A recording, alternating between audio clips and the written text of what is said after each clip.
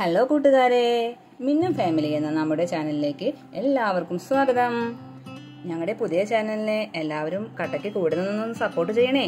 അപ്പോൾ നമുക്ക് ഇന്നത്തെ കാര്യങ്ങളിലേക്ക് കടന്നാലോ? ഇന്ന് എന്നത്തെ പോലെ ചോറ് അടുപ്പിൽ പുറത്താണ് കേട്ടോ വെച്ചത്.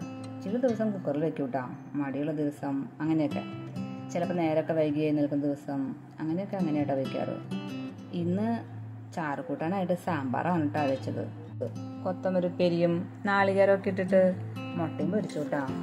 ഞങ്ങളിവിടെ കൊത്തമരുപ്പേരി എന്നാട്ടാ പറയാ. നിങ്ങളുടെ ഇവിടെ എന്താ പറയാ?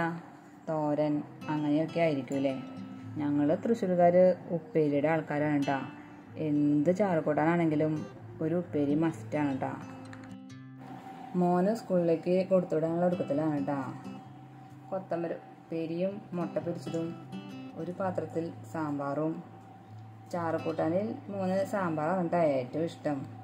സാമ്പാർ ഉണ്ടെങ്കിൽ മോൻ വളരെ ഹാപ്പിയാ മോനെ വീട്ടിൽ ചിക്കു എന്നാട്ടാ വിളിക്കാറ്. അങ്ങനെ അവന് ഇഷ്ടപ്പെട്ട കൂട്ടാനൊക്കെ ആക്കി കുപ്പിയിലൊക്കെ വെള്ളമൊക്കെ നിറച്ചു. മക്കൾ സ്കൂൾ പോകുന്ന സമയം എല്ലാ വീട്ടിലും ഒരു ബഹളമാണല്ലേ?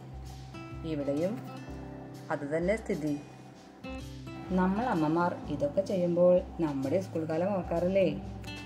അപ്പോഴാണ് നമ്മുടെ അമ്മമാരുടെ അന്നത്തെ ബുദ്ധിമുട്ട് നമ്മൾ മനസ്സിലാക്കാറില്ലേ? ഇനി ചോട്ടുപാത്രം ടവലിലൊക്കെ പൊതിയണം. എന്നിട്ട് അതൊരു കവറിലാക്കിയാലേ സമാധാനമാവൂ അല്ലെങ്കിൽ കൂട്ടാന്റെ ചാറ് ബുക്കിലൊക്കെ ആവും. അതുകൊണ്ടാണ് കേട്ടോ ഇതിനിടയിൽ കുട്ടികൾ രണ്ടും കൂടി തല്ലും വഴക്കുമായി. അത് തീർക്കാൻ ഇത്തിരി സമയമെടുത്തു എല്ലാം കഴിഞ്ഞ് അവരെല്ലാം ഒന്ന് സമാധാനപ്പെടുത്തി. നിങ്ങളുടെ വീട്ടിലുണ്ടോ?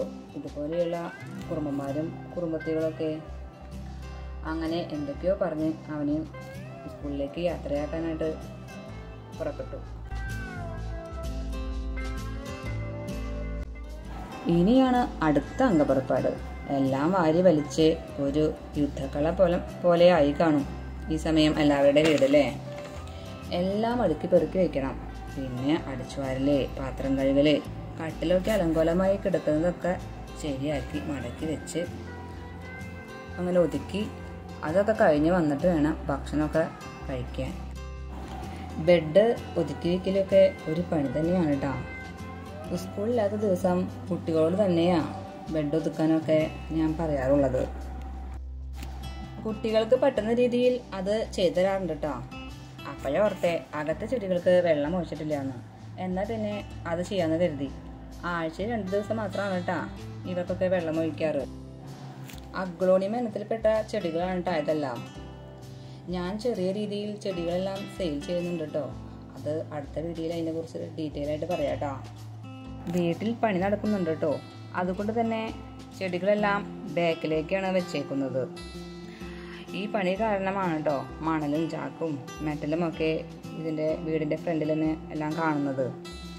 വീടിന്റെ മുകൾ നിലയിലെ കൂച്ചന്റെ വാർപ്പ് ഇന്നലെയായിരുന്നു അതിന്റെ വീഡിയോ മുമ്പ് ഇട്ടിട്ടുണ്ട് കേട്ടോ എല്ലാവരും അതൊന്ന് പോയി കാണണം കേട്ടോ ലിങ്ക് ഡിസ്ക്രിപ്ഷൻ ബോക്സിൽ കൊടുക്കാം. മുറ്റത്തെ ചെടികൾക്ക് വെള്ളം ഒഴിച്ചു വന്നു. കുളിയും കഴിഞ്ഞ് മറ്റ് പണികളിൽ ഏർപ്പെട്ടു. ഒന്ന് ഇത്തിരി റെസ്റ്റ് എടുക്കാമെന്ന് കരുതി. ഒരു തുടക്കക്കാരി എന്ന നിലയിൽ ഒരുപാട് തെറ്റുകൾ ഇതിലുണ്ടെന്ന് എനിക്കറിയാം. ഞാനിത് വഴിയെ ശരിയാക്കാട്ടോ.